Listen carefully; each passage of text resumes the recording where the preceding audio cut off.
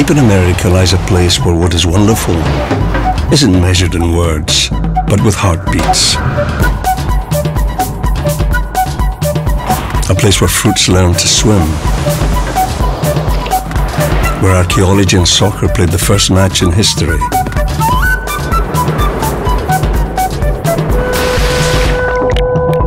Where your best diving buddy is a pro. A cool one at that. Where friends await you from centuries ago. Where emotions have no words. Where traditions are always in vogue. Where colours run deep and fly high. Where coffee goes a long way and wakes you with a macchiato.